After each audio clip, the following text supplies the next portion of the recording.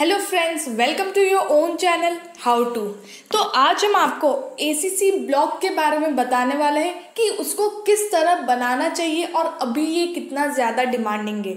ACC block मतलब autoclave aerated concrete blocks जिसमें हम आपको बताएँगे कि इसमें कौन से रॉ मटेरियल्स यूज़ होते हैं, क्या प्रोसीजर है इस एसीसी ब्लॉक को बनाने के लिए, कौन सी मशीन्स आपको चाहिए होगी, कितना इन्वेस्टमेंट आपको करना पड़ेगा और कितनी प्रॉफिट आपको होगी, जो बहुत इंपॉर्टेंट चीज़ है कोई भी बिज़नेस स्टार्ट करने से पहले। क्या लाइसेंस आपको इशू करवाने पड़ेंगे, कितना एरिया आपको लगेगा ये बिज़नेस स्टार्ट करने के लिए और कितने लोग मतलब कि कितना मैन पावर आपको चाहिए जब आप ये बिज़नेस स्टार्ट करोगे। तो इस वीडियो में हम आपको सब कुछ बताएँगे जो एसीसी ब्लॉक को बनाने के लिए चाहिए।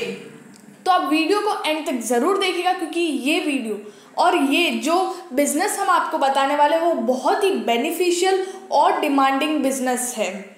आगे बढ़ने से पहले अगर आपने हमारे चैनल को सब्सक्राइब नहीं किया हो तो आप हमारे चैनल को सब्सक्राइब ज़रूर कर दीजिएगा। साथ ही में हिट द बेल आइकन अब हम आपको सबसे पहले एडवांटेजेस बताते हैं कि ये बिज़नेस को आपको क्यों स्टार्ट करना चाहिए, ये ब्लॉग्स को ही क्यों स्टार्ट करना चाहिए, क्योंकि नॉर्मल ब्रिक भी आते हैं, लेकिन वो बहुत ही ज़्यादा हैवी होते हैं। तो यहाँ पर बहुत ज़्यादा हैवी होते हैं और वो पॉल्यूशन के लिए भी अच्छे नहीं होते एनवायरनमेंट के लिए अच्छे नहीं होते, क्योंकि वो पॉल्यूशन क्रिएट करते लेकिन ये ब्रिक इको फ्रेंडली है। ये पेस्ट रेजिस्टेंट है इको फ्रेंडली है फायर रेजिस्टेंट है ड्यूरेबल है। बिग इन साइज़ है। जो ब्रिक होते हैं, वो थोड़े छोटे होते हैं तो आपको थोड़े ज़्यादा चाहिए होंगे। और ज़्यादा मेहनत लगती है, ज़्यादा मटेरियल लगता है। लेकिन ये ये थोड़े बड़े होते हैं साइज़ में तो उस वजह से आपको यहाँ पर मटेरियल कम लगता है। ये साउंड रेजिस्टेंट है और हल्के भी है लाइट वेट भी है। तो ये ब्रिक में बहुत सारे, ये जो ब्लॉक्स है एसीसी ब्लॉक इसमें बहुत सारे एडवांटेजेस है, जो अभी मैंने आपको बताया अब बात करते हैं रॉ मटेरियल आपको कौन कौन सा चाहिए होगा। यहाँ पे आपको lime powder cement gypsum aluminium soluble oil fly ash तो ये सारी चीज़ें raw material as a raw material आपको यूज़ करनी पड़ेगी जब आप एसीसी ब्लॉक बनाओगे। आगे मैं आपको ये भी बताऊँगी कि आपको कितना लेना है। लाइक कितनी क्वांटिटी आपको लेना है एक मोल्ड के अंदर। तो ये रॉ रॉ मटेरियल कंपलसरी आपको चाहिए ही होंगे एसीसी ब्लॉक के लिए। तो अब बात करते हैं मशीन्स कौन कौन सी मशीन्स आपको चाहिए? कि यहाँ पे आपको बैचिंग पैनल चाहिए demoulding machine vertical cutting machine horizontal cutting machine cement motor autoclave slurry pump mixer pump line motor boiler तो यहाँ पे इतनी सारी मशीन्स आपको चाहिए। ये जो बिज़नेस है कोई छोटा मोटा बिज़नेस नहीं है। ये बिज़नेस बहुत ही लार्ज स्केल वाला, बहुत ही बड़े पैने पे जो बिज़नेस करते, बहुत ही बड़ा बिज़नेस है ये, जहाँ पर आपको इतनी सारी मशीन्स चाहिए होगी।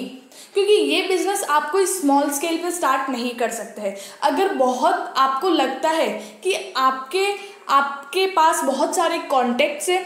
आप जहाँ पर ये इसको सप्लाई कर सकते हैं और गवर्नमेंट लाइक थोड़ी बहुत उनसे भी थोड़ी बनती हो आपकी तो आप उन्हें भी सप्लाई कर सकते तब आप इस बिज़नेस में एंटर कर सकते हो। क्योंकि इस बिज़नेस में अगर आपने एंट्री कर ली ना तो प्रॉफिटेबिलिटी बहुत ही बढ़िया है। लेकिन उस एंट्री के लिए आपको पहले कॉन्टेक्ट्स बनाने पड़ेंगे। आपको देखना पड़ेगा आपके आसपास कि कितना कंपटीशन है? क्या आप उस कंपटीशन में लड़ पाओगे? और लेकिन अगर आप में कैपेबिलिटी हो तो आप ये कर सकते हो। तो बात करते हैं आप प्रोसेस की। सबसे पहले आपको मिक्सर मिक्सचर करना पड़ेगा। फ्लाई एश एंड वाटर का। जहाँ पर आपको इस मशीन में, इस मशीन में आपको मिक्सचर बनाना है तो उसमें कुछ क्वांटिटी मैं आपको बताऊँगी।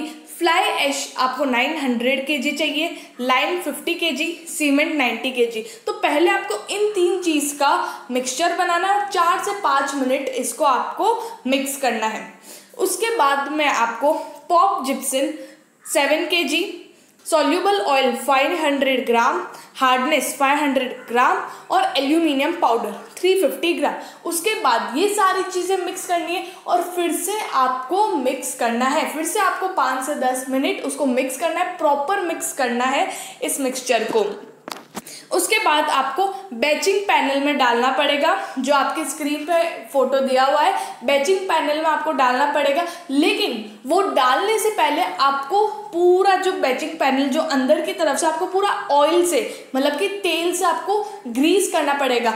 ताकि जब आप इस चीज़ को निकालोगे तो वो इजीली निकल जाए और साइड में ज़रा भी चिपके नहीं। तो उससे पहले याद रखना ऑयल से पहले ग्रीस आपको करना पड़ेगा। अब जैसे ही आपने बैचिंग पैनल में डाला, आपका जो भी मिक्सचर है, वो पूरा डाल दिया। उसके बाद आपको उसको वहाँ पे थोड़ी देर रखना है और जब आप वहाँ से उस चीज़ को निकालोगे प्रॉपरली उस बैचिंग पैनल से जब आप निकाल दोगे तो आपको प्रिक्योरिंग हीट रूम में ले जाना पड़ेगा।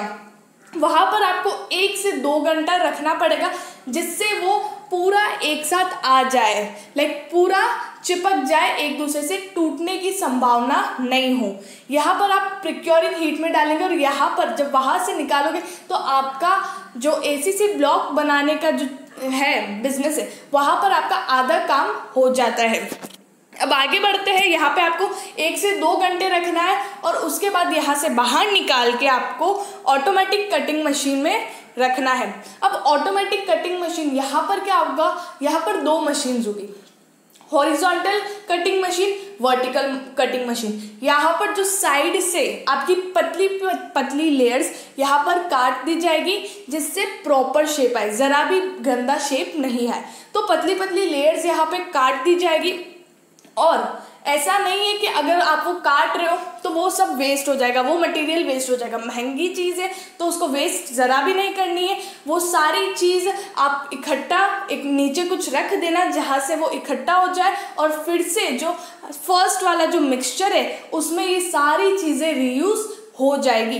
तो एक भी चीज़ आपकी यहाँ पे वेस्ट नहीं होगी। यहाँ पर आप ऑटोमेटिक कटिंग मशीन में वर्टिकल और हॉरिजॉन्टली आप इसको कट कर दोगे।